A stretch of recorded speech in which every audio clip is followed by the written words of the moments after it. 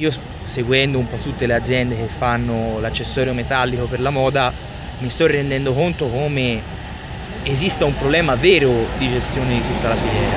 Perché non è, non è pensabile che ci sia sempre una corsa al ribasso che alla fine si risolve in un dumping sui lavoratori attraverso questi mezzi oppure attraverso altri mezzi contrattuali, penso al sistema delle cooperative, penso a delle cooperative fasullo ovviamente, penso a sistemi che non permettono di avere una concorrenza reale basata sulla qualità e basata invece soltanto sul prezzo. E sono le griff, tra l'altro, che, che, poi troviamo in boutique a 5.000 euro a borsa, no? che fanno così. In parte anche sì, in parte anche sì.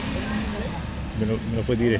Diciamo, in parte ritengo che ci sia anche una pressione da parte della capofila a ridurre il prezzo, che è un atteggiamento che francamente mi spiego il giusto perché i margini ci sarebbero anche cioè per... una borsa la fanno pagare 5.000 euro. Poi. Esatto, ci sarebbero margini anche per garantire una, una sostenibilità di tutta la filiera, invece si, predilige atteggiamenti che vanno sul dumping tra lavoratori.